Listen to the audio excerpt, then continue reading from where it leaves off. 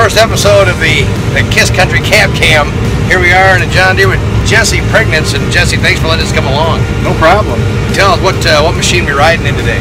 Oh, we're in a 9650 STS John Deere. All right. Now, is this something you get every year, or do you get uh, same combine for years? Uh, I run this one about five years. We run it through the through the shop in the wintertime and get everything touched up and cleaned up. What? Uh, good. Well, that's good. What? Uh, how many guys you got out here helping? I know it's wagon. It wagon. kind of varies. Um, got Kevin Coolman, my neighbor. My dad helps. Uh, my son Jake, when he's home from school, helps. Um, got a few other guys in town. You know, the Geritol crew. You know, get, get them juiced up in the morning and they're good till six o'clock at night or so. You know. Yeah. What uh, What happened to the days of getting getting out of school to help Dad do a little farming? Well, he's down at DMACC and all the Oh. all the kids down here are farm kids, so they kind of they kind of let them out a little early in the week so they can go home and help farming. So. We grab a bite and make sure to hug her. Saddle back up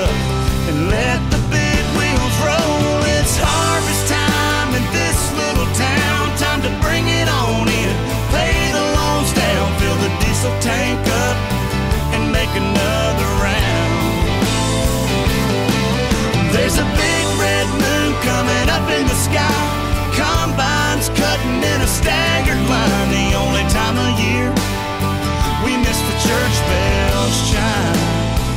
It's harvest time.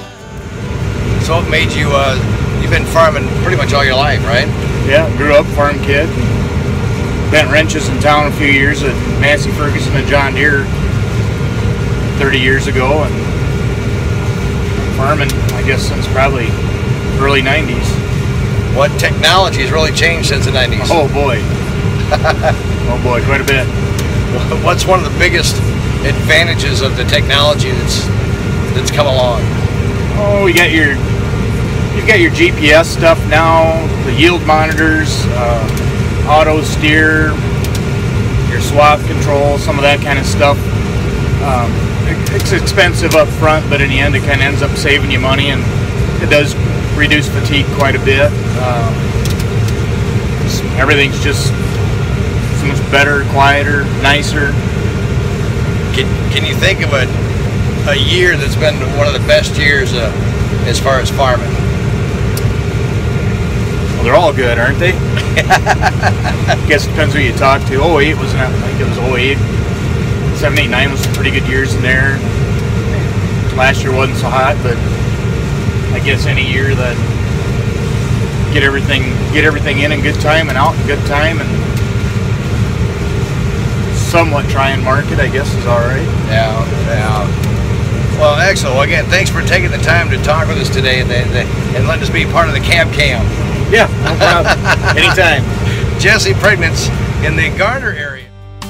There's tractor trailers backed up down by the elevators. Train track grain car will roll